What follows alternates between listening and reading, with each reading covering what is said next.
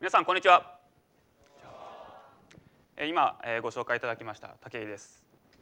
まずはじめにこちらからいきたいと思うんですけれども1.5倍。これまず皆さんちょっと考えていただきたいです。何の数字なのかと。いうことです。わかりますかね？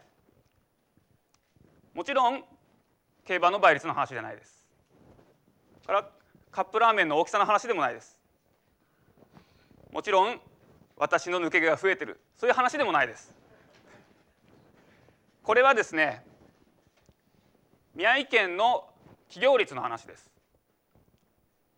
震災後全国平均と比べて1.5倍の企業率があると。宮城県ですね。これは震災前と震災後を比べたものじゃないです。全国に比べてです。つまり全国でですね一番企業率が高いところが、えこの被災地になっているということになります。実際に私たちの周りでもですね多くの方が起業しています。実は私は震災前にですねある勉強会を開催しておりましてでそこに50人ぐらいの方がいらっしゃったんです。でその50人の方がですねこの震災があって、えー、なんやかんやしますとそのうちの7人が会社を辞めて独立していたと。50人中7人。これ非常に大きい数だと思っています。じゃあなんで彼らが会社を辞めるのか。いくつか理由があります。一つはですねそこにこう震災があってこの地域に大きな社会問題が横たわってるとみんな気づくわけです。それに対して自分が今の仕事でやっていることこれ全くこれと直結しなかったりとかですね。でそれから、まあ、いろんなしがらみ、えー、上司社内取引先、まあ、そういったしがらみの中でですねやっている、まあ、ちょっと面白くないかもしれない仕事。こんなことやってる場合じゃないんじゃないか。みんな思うわけです。でそれで思い切って会社を辞めてしまう人がいる。あともう一つの理由。それはですね今回震災があってやっぱりですね多かれ少なかれみんな思ったこと、えー、人間の人生っていうのは、有限なんだなと。いつ死ぬか分かんないんだなと。いうことです。そこでですねこの有限の人生をどうやって有意義に過ごすかと。使うかと。いうことを考えた時に今の仕事をこのまま惰性でやっていくんじゃないんじゃないか。そういうふうに思ってですねこの方向転換をして辞める人がいる、まあ、そういった理由でですねみんな辞めていくんだなと思いました。実際私自身もですね、えー、そうやって会社を辞めた一人です。もともとはベンチャー企業に投資をするという仕事をしていました。今回震災があってその会社を辞めてですね自分の組織を作りました。誠という組織を作って被災地の起業家の支援をしていこうということで活動を始めたところです。私たちの支援先には多くの起業家の方々います。先ほどの岩佐さんもそうですけれどもジャンルはですねえー、すごく広く IT サービス業農業伝統工芸いろんな方々がいます。特に若くて元気のいい人たちがどんどん出てきています。ただ彼らにですね一つ共通すること。それはですね皆さん志を持っているということです。志私なりの定義ではですね私利私欲ではなくて世のため人のために体を張ってやるんだというのがその志だというふうに思っています。起業家の方々はビジネスをですねもっともっとうまくやろうというふうに思えば別に被災地でなくてもいいかもしれない。もっと適切な地域に行けばいい。ただ彼らはここでやりたい。ここでやるんだと言っている。それはですねやっぱりここに目の前にあるこの問題をどうにか解決しなくちゃいけない。自分がそれで突き動かされてですねやるんだということでやっている。体を張ってやっているということです。東北にはですねそういった素晴らしい人たちがどんどん出てきている。それからどんどんですね全国から集まってきているということが言えると思います。いくつか事例をご紹介します。一つはですねこの石巻にあるラポールヘアという、えー、復興美容院です、えー、ここではですね被災した、美容師さんの方々にですね職場を提供しようということで、えー、この事業を展開しています。でさらに、えー、働く人にですね働きやすい、えー、職場づくりというのをですね目指してやっています。これをやっている方は、えー、この林さん。林さんはですね震災前は、東京の、モッツヘアジャパンというですね大手の、えー、美容院チェーンですね取締役をやっていた人です。震災後その取締役のですね安定した職を辞めて縁もゆかりもなかったこの石巻に入ってですねその事業をされている。そこにはですね非常にやっぱり思いがあるわけです。この、え、美容業界に恩返ししたい。それから自分の、え、スキル自分のノウハウを使ってですね何ができるかということでですねそういったところ、えー、活動をしていると。もう一つご紹介します。これは福島のいわき市から発信されているものですけどもライスバーガー。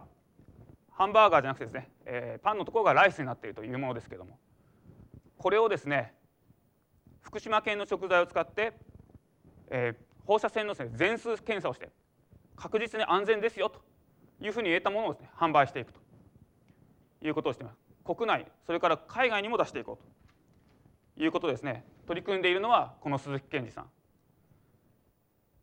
まあ非常にセンシティブな面もある事業です。なのでですね彼はもういろんなところから誹謗中傷も受けたりもします。彼はもともといわき市出身なんですけれども東京でですね、えー、自分の会社を立ち上げてやっていました。震災後自分の故郷に戻ってですね、えー、いろんな事業をやっていこうと、えー、福島を元気にしていこうということでですね取り組まれるんですけども地元からのですね反対、えそれから受け入れられないといったこともあったそうです。でも彼はそれを乗り越えていきます。さらにですね英語も実は大してできない。大してできないんだけども単身アメリカに渡ってですねアメリカのビジネスプランコンテストとかで発表して見事2位になったりとかですね。そういった体を張ってやっているこういう人たちがどんどん出てきています。では翻って私自身はですねなぜこういった人たちを支援するという活動を始めているのか。それは6年前に遡ります。私には、えーまあ、兄弟がいまして私は長男、えー、それから妹がいて弟がいる。ところがですね6年前にこの妹が自殺をしたと言ったことがあります。妹はですね、えー、世の中に役に立ちたいというふうに思ってやっていた頑張っていました。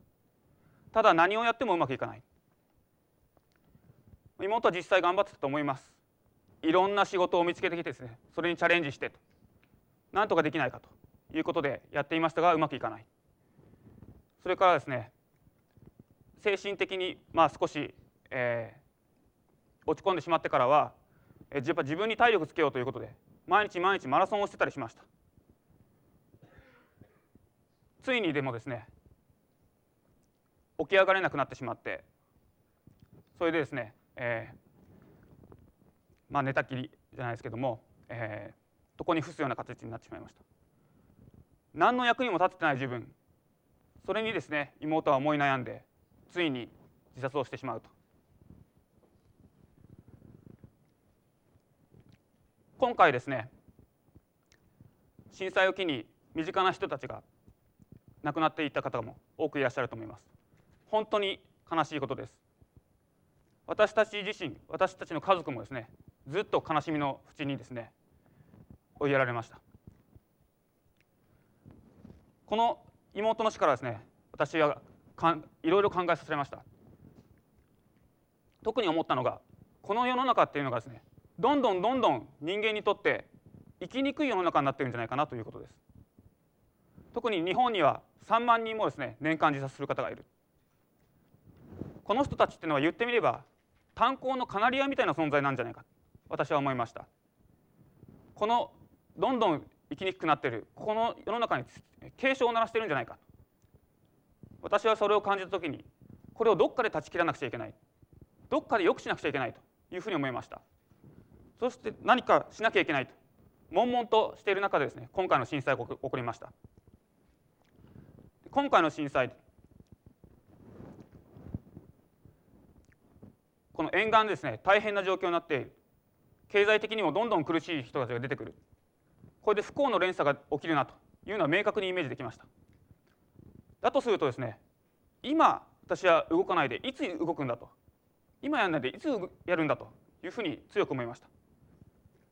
それで今回のこの誠といった活動を始めたわけです。これは被災地に限らない問題だと思います。今世界中でですね先進国では高い失業率それから心の病にかかる方もどんどん出てきていてまさにですねこういった幸せを感じられない世界になってきているんじゃないかなと。これは大きな社会問題です。ただこれに気づいた人たちがどんどん動き出しています。NPO もそうですし大手の会社の中でもですね大企業の中でもそういった動き方が出てきている。今後ですね私は世界はこの幸せ感っていうのを埋める方向に行くんじゃないかなと。いうふうに思っています。その時に東北はどういった位置にいるのか。東北はですねこの動きの中の最前線にいるんじゃないかというふうに私は思っています。人の幸せとは何なのか。それをですね最も真剣に考えて最も深く考えている人。それは他でもないこの東北の人たちなんじゃないでしょうか。深い悲しみがあったからこそ深い気づきがある。東北はまさに最前線なんだというふうに思います。そしてこの中から次の時代のリーダーっていうのは生まれてくるんじゃないか。私はそう確信しています。戦後の焼け野原の後からはソニーホンダといった人たちが出てきてですね立て直していった。それから阪神の時もそう。いろんな方々が出てきた。特に楽天の三木谷さんはですね友達を多く亡くされてそれで起業の契機にしたというふうに聞いています。今後そういう人たちが必ず出てくるというふうに思っています。それからこの東北はですね今物事を一番変えやすいところになってるんじゃないかなと。いわば日本の中のフロンティアだと思います。ここからどんどん世の中を変えていく。日本を変えていく。いや日本を変えていかなきゃいけないんだと思います。そこで私はこういった形でチャレンジをする人たちその人たちを応援したいなその力になりたいなと思っています。で世の中を良くしたいという人たちその人たちを支援する最も成功しやすいような仕組み作りをしていきたい。そうするとですねそれぞれの方々がいろんな側面から世の中を良くしていく。それが力を合わせればですねもっともっと今の世の中じゃないそのどんどん悪くなっていくという流れも断ち切ることができるんじゃないかなと今まさにここからやらなくちゃいけないんだということでやっております。私としては微力ではありますけれども全身で全霊ですねこれにかけていく所存です。ご清聴ありがとうございました。